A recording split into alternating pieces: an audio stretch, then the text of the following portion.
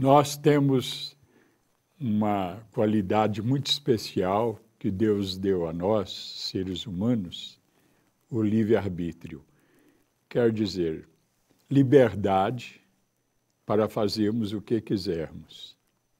Agora, esse livre-arbítrio, ele tem que ser respeitado. Deus, como é um ser perfeitíssimo, ele respeita religiosamente o nosso livre-arbítrio. Nós, que somos imperfeitos, nós nem sempre respeitamos o livre-arbítrio do nosso semelhante. Os líderes religiosos, eles têm por obrigação nos orientar, orientar os seus fiéis.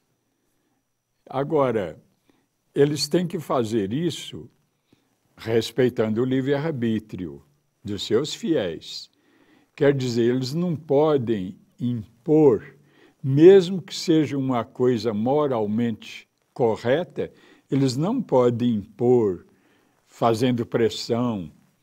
Na Idade Média, por exemplo, quando o indivíduo não aceitasse certas questões doutrinárias, principalmente dogmáticas, ele morria na fogueira por processos da chamada Santa Inquisição, que condenava muitos à fogueira exatamente porque não aceitavam seguir certas doutrinas e os líderes religiosos, então, querendo impô-las pela força, eles acabavam, então, julgando esses indivíduos meio rebeldes com relações a algumas doutrinas e os condenavam à fogueira da Inquisição.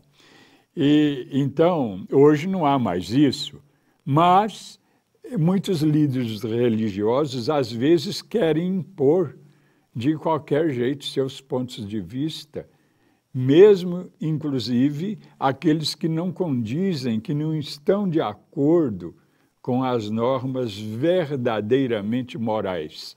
E isso é um grande erro lamentável dos líderes, dos líderes religiosos das várias religiões.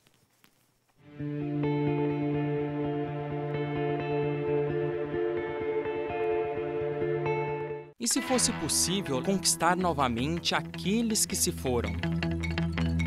Juntos nós podemos. Invista neste canal. Invista em um mundo melhor.